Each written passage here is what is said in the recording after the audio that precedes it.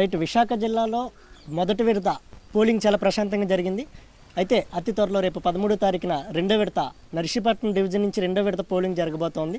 ఈ నేపథ్యంలో విశాఖ జిల్లా రోలుగుంట మండలం కొంతలం గ్రామ పంచాయతీ నుంచి తెలుగుదేశం బలపరిచిన అభ్యర్థిగా గూడుపు నానాజీ బరిలో ఉన్నారు.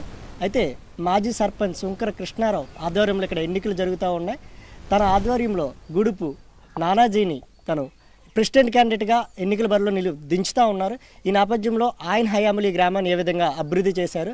రేపు నానాజీ గెలిస్తే ఇంకా ఈ గ్రామానికి అభివృద్ధికి ఏ విధంగా బాటలు వేస్తారనేది మాజీ సర్పంచ్ కృష్ణారావు గారిని అడిగి తెలుసుకుని ప్రయత్నం చేద్దాం.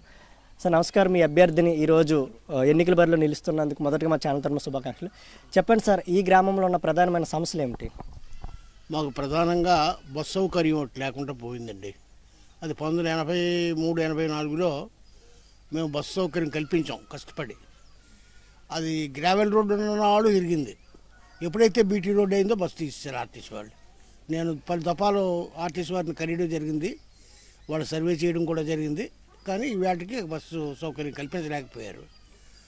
తర్వాత ప్రధానంగా మాకు భోగాపురం టు కొంతలం ఇంచుమించు ఒక ఐదు కిలోమీటర్లు ఉంటుందండి. ఈ రోడ్డు ఎప్పుడో పంచాయతీరాజ్ తరఫుని ఆ రోడ్డు వేయడం జరిగింది. తర్వాత ఆ మధ్య ఒకసారి one year two years back repair చేసి చేయడం జరిగింది. ఆ రోడ్డు బాగా అధ్వానంగా ఈ ఈ క్వారీల వల్ల నందిపురం టు భోగాపురం బాగా పాడైపోయింది రోడ్డు. ఇప్పుడు ప్రయాణం చేయడానికి కూడా చాలా దుర్భరంగా ఉంది. అలాగే కొంతలో నుంచి సర్వవరం మేము లింక్ చేసాం రోడ్డు. అది కూడా జిల్లా పరిషత్ వాళ్ళు బీటీ రోడ్డు వేయడం జరిగింది. అది కూడా పూర్తిగా అధ్వానమైన పరిస్థితుల్లో ఉంది. పదే పది సార్లు చాలాసార్లు మేము చాలామంది అధికారులకి రాజకీయ నాయకులకి చెప్పడం జరిగింది. కానీ మరి దురదృష్టం మా దురదృష్టం అనుకుంటాను. అది ఈవేళకి కూడా కార్యరూపం దాల్చలేదు. మీరు ఈ గ్రామానికి సుమారు ఒక ఐదారు సంవత్సరాలు సర్పంచ్గా పనిచేసి ఉన్నారు అయితే ఈ నేపథ్యంలో ఇటు ఆర్టీసీ బస్సు సదుపాయం ఎందుకు తీసుకురాలేకపోయారు? రేపు ఈరోజు జనాల్లో కూడా మీరు మళ్ళీ మీ అభ్యర్థిని పట్టుకొని ఓట్ల కోసం ముందుకు వెళ్తా ఉన్నారు. మరి ఈసారి ఈ ఖచ్చితంగా ఈ ఐదు సంవత్సరాల్లో బస్సు సదుపాయం ఏర్పాటు చేసే అవకాశం ఉందని జనాలకి ఏమైనా హామీ ఇవ్వబోతున్నారా? తప్పకుండా ఉందండి.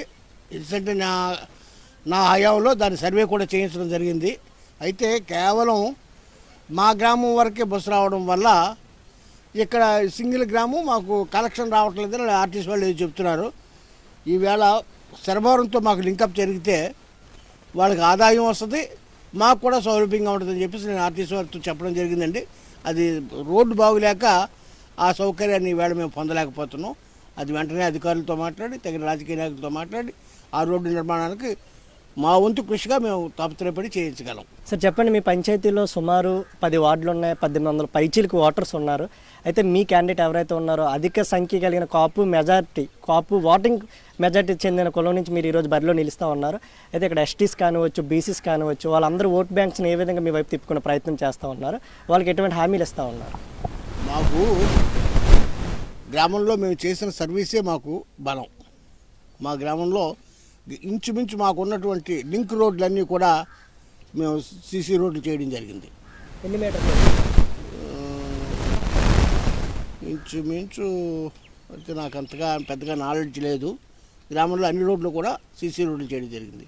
ప్రధానమైనటువంటి మా మెయిన్ రోడ్డుని అప్పుడే మేము రోడ్డు వెడల్పు చేసి కలవర్ట్స్ కూడా నిర్మాణం చేయడం జరిగింది. అలాగే ఆ డ్రైన్స్ మేము చేయడం జరిగింది. ఈవేళ మెయిన్ రోడ్ అంత సుఖంగా ఉందంటే అది మా హయాంలోనే జరిగింది. ఆ రోడ్డు నిర్మాణం ఈ రకమైన తర్వాత గ్రామంలో ఒక అంగన్వాడీ బిల్డింగ్ మా హయాంలో అలాగే పంచాయతీ ఆఫీసు. అలాగే స్కూల్లో స్కూల్ బిల్డింగులు. ప్రధానంగా మా హై స్కూల్కి మేము సీసీ రోడ్డు కూడా వేయడం జరిగింది. ఇలాగ మేము చేసినటువంటి అభివృద్ధి కార్యక్రమాలే మాకు ఈవేళ శ్రీరామ రక్ష మా గెలుపుకి. అంచేత తప్పకుండా మేము గెలుస్తామని చెప్పేసి సంపూర్ణమైనటువంటి విశ్వాసం మాకు మా ప్రజల పట్ల మాకు ఆ విశ్వాసం ఉంది. ప్రజలు మాకు మద్దతు ఇస్తారని. తర్వాత టీడీపీ పార్టీలో మేము మొదటి నుంచి కొనసాగుతున్నాం. ఈవేళ కూడా అదే టీడీపీ పార్టీతో మేము సత్సంబంధాలు చేసుకొని మేము ఈ- ప్రయాణాన్ని కొనసాగిస్తున్నాం. రైట్ మరొక విషయం చెప్పండి సార్. ఈరోజు మీరు నర్సీపట్నం రెవెన్యూ డివిజన్లో ఉన్నారు. రెండో విడతకి ఇక్కడ ఎన్నికలు జరుగుతూ ఉన్నాయి. నిన్న ఏదైతే అనకాపల్లిలో మనం చూసినట్టయితే వైఎస్ఆర్సీపీ మొత్తం అంతా కూడా క్లీన్ షిప్ చేసిన పరిస్థితి ఉంది. ఈ నేపథ్యంలో మీరు తెలుగుదేశం ద్వారా బరిలో ఉన్నారు. మీ గెలుపుపై ఏ విధంగా మీరు ముందుకు వెళ్దాం అనుకుంటున్నారు? ఆ అనకాపల్లి డివిజన్కి మాకు సంబంధం లేదండి. మా వరకు మేము మా గ్రామం వరకు మేము నమ్ముతున్నాం. ఎక్కడో మేము అక్కడెక్కడో ఏదో జరిగిందంటే మాకు సంబంధం లేదు కదా. మా గ్రామం వరకు మా ప్రజలు మేము సమిష్టిగా ఈ మా నాయకత్వంలో ఇక్కడ మేము గెలుపు సాధ్యపడుతుందని ఆశపడుతున్నాం. తీవ్ర ఇబ్బంది కూడా మీ గ్రామానికి ఉంది. ఏదైతే రోడ్డు ఉందో చిన్నది కావడంతో క్వారీలు కూడా చుట్టూ ఒక ఐదారు క్వారీలు కూడా ఉన్నాయి. దాని నుంచి భయంకరమైన శబ్దాలు వస్తూ ఉంటాయి బ్లాస్టింగ్లు జరుగుతూ ఉంటాయి. ఈ నేపథ్యంలో గ్రామ సర్పంచ్గా ఆ క్వారీలపై ఏమైనా పోరాటం చేయబోతా ఉన్నారా మాజీ సర్పంచ్గా? లేదంటే ప్రజలకు ఏమైనా హామీ ఇవ్వబోతున్నారా? ఇప్పుడు ఇంతకుముందే ఆ క్వారీల గురించి మేము మా దృష్టిలోకి వచ్చేయండి. అది కూడా మేము ఇక ముందు ఇగో ఈ- మా సర్పంచ్ నూతన సర్పంచ్ నాయ నూతన సర్పంచ్ గారి నాయకత్వంలో మేము అవసరమైతే కలెక్టర్ గారిని కలిసి ఆ క్వారీల బెడద నుంచి కూడా మా గ్రామాన్ని రక్షించుకుందాం అనేటువంటి నమ్మకం మాకుంది. మరొక విషయం చెప్పండి సార్ ఈరోజు ఇక్కడ సచివాలయం ఏర్పాటు చేసామంటున్నారు అంగన్వాడీ కేంద్రం అలాగే హై స్కూల్ ఇవన్నీ కూడా ఏర్పాటు చేసామంటున్నారు అయితే ఇంటింటికి మంచినీటి కొల ఇచ్చే ఉద్దేశం ఏమన్నా మీకుందా? బాబు మరి గవర్నమెంట్ గురించి అంటే ఏమన్నా అంటారేమో? అది ఆరు నెలల క్రితం మూడు నెలల క్రితం ఇంటి మా భయంలో ఇంటింటికి కొళాయి పథకాన్ని తెలుగుదేశం ప్రభుత్వంలో శాంక్షన్ చేయడం జరిగింది. పైపు అది టెండర్లు చేయడం జరిగింది. పైపులు కూడా రావడం జరిగింది. మా దురదృష్టవశాత్తు ప్రభుత్వం పోయింది. ఎత్తు కొత్త ప్రభుత్వం వచ్చింది. అదిగో ఇంత రెండు వందల కోట్లు మూడు వందల కోట్లు శాంక్షన్ చేసామన్నారు మా మండలానికి పదిహేను కోట్లు పదిహేను పద్దెనిమిది కోట్లు అన్నారు. మీటింగ్ పెట్టేశారు. రెబ్బర్ కత్తిరించేసినారు ఏమీ లేదు. ఈ ప్రభుత్వంలో ఏం లేదు. ఎందుకంటే నాయర్భూమిలో మీకు చెప్తున్నాను. ఆ ఎక్కడి నుంచో మాకు చోడవరం రోడ్డు ఒకటి అధ్వానమైన పరిస్థితుల్లో ఈ రోడ్డు ఉంది. మా ఎమ్మెల్యే దానికి రబ్బర్ కత్తిరించేశారు వెంకరపాలెంలోనే రబ్బర్ కత్తిరించినట్టే ఉంది అది. అప్పుడే సంవత్సరం దాటిపోయింది ఆ రోడ్డు. పేపర్ మే ఈ ఈ గవర్నమెంట్లో పేపర్ మేరకే శాంక్షన్స్. గ్రౌండ్లోకి వస్తే శాంక్షన్ నో ఫండ్స్. డబ్బులు ఆశా వర్కర్లకైతే ఇక ప్రభుత్వం ఉంది. అది సంతకం పెట్టిన ఆశా వర్కర్లు చేత ఇచ్చేసి అన్నట్టు ఈ ఆటకి లేదు. ఇక ప్రభుత్వం గురించి మీరు నన్ను అడిగితే మీకు చాలా టైం వేస్ట్. ఎందుకంటే నేను చాలా చెప్పగలను.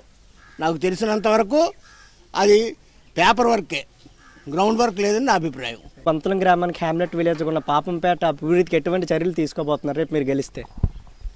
ఆ గ్రామం బాగా డెవలప్ చేసాం గతంలో అక్కడే మేము ఉప సర్పంచ్ పదవి ఇవ్వడం జరిగింది.